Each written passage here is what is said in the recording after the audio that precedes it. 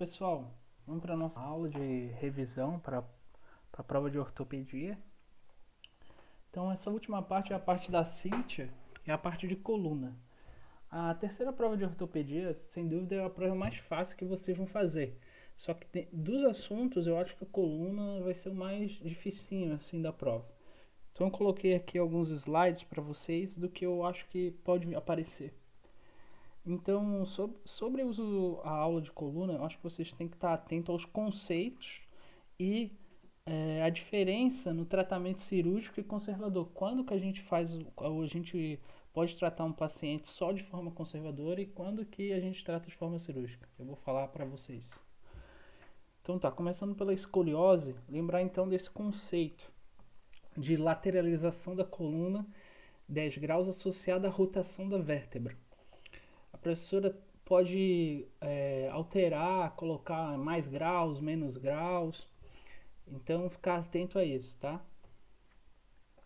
E das escolioses, lembrar da escoliose idiopática, que é uma escoliose que ela não causa dor, tá? Então, ficar atento com isso, tá? Provavelmente a professora vai fazer uma questãozinha falando que a escoliose idiopática causa dor e a progressão da curva ela segue o crescimento do paciente, né? No exame físico, atentar então para a diferença na altura dos ombros, é, para o triângulo de Thales, que é esse triângulo formado aqui, ó. O, a obliquidade da pelve, outra coisa importante, é, dismetria do, dos membros, então, é, geralmente a professora também faz uma questãozinha falando desses parâmetros do exame físico para a gente ver escoliose, né?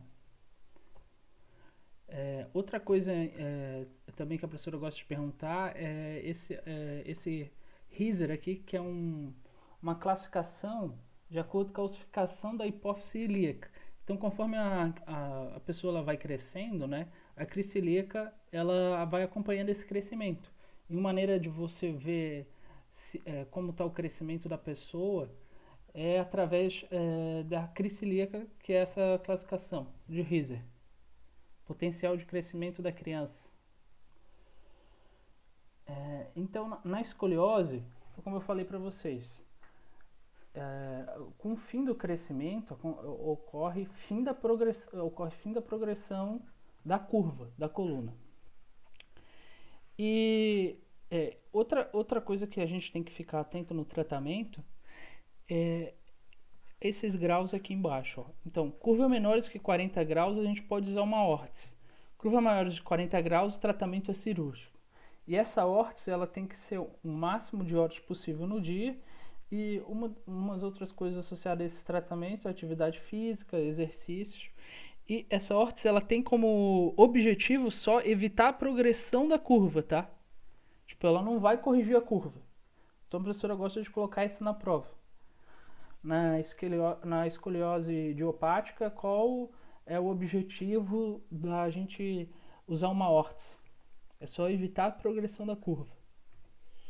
Sobre cifose, como eu falei para vocês, o conceito de cifose, né? Ficar atento sempre aos conceitos. Curvatura da coluna no plano sagital, ou seja, perfil, de convexidade posterior, que varia entre 20 e 45 graus. E lembrar dessa cifose aqui, ó, essa, é, essa cifose que, com nome esquisito. Essa é uma cifose rígida, né? Ela está igual à prevalência de sexo masculino e feminino. E o que a professora gosta de cobrar é isso aqui, ó. Encoiamento de três vértebras adjacentes. Critério de Soreman. Então, só, só para dar uma ficar atento lá na prova, porque se vir essa cifo, se vir cifose, eu acho que vai ser essa para vocês. Lom, é, lombalgia e lombociatalgia. O que eu acho que a professora pode cobrar de vocês é com relação aos miótomos. Ela gosta disso aqui. Então, só para memorizar, L2, L3, flexão de quadril L3, L4, extensão do joelho. Se vocês lembrarem da aula, acho que quem foi a professora deu aquele macete. Basta você pensar nos movimentos, né? Começa com uma flexão, depois uma extensão e vai seguindo. Então, ó, certeza, eu acho que vai ter um, talvez uma questãozinha disso aqui.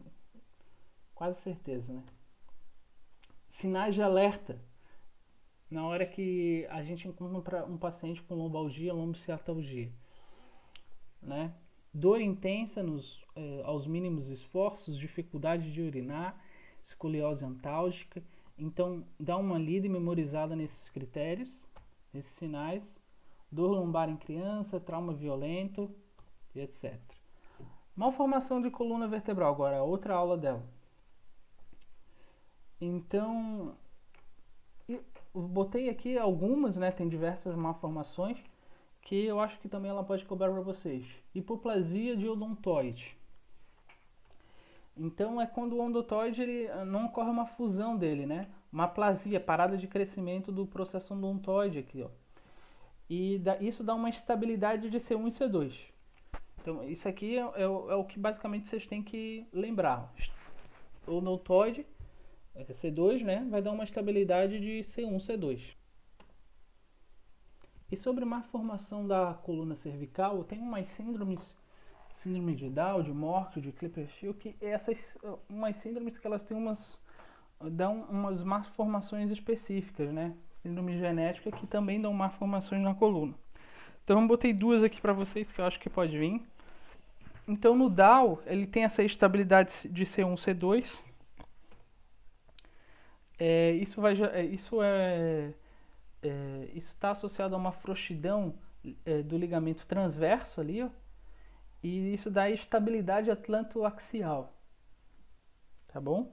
Então lembrar de, de, de, disso aqui, ó, para prova. Cheio de informação, mas na minha opinião que pode cair é isso aqui para vocês. E Clipperfy, eu acho que pode vir também, é a fusão congênita da coluna cervical. Né? Como vocês podem ver aqui no, no raio, né? Agora sobre toxicólogo, eh, toxicólogo diagnóstico e diferenciais. Lembrar da síndrome de Grisel, que ela está associada a uma infecção aguda ou crônica da região cervical, tipo renite, amidalite, ou faringite, né?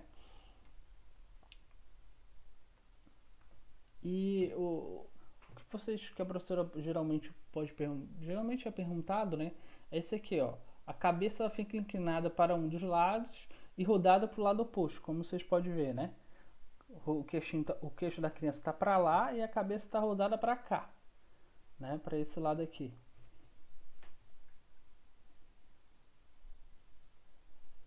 O esternocleido, ele está contra o esternocleido oposto que está contraído, diferente do, do torcicolo que vocês já estudaram em outras aulas, né?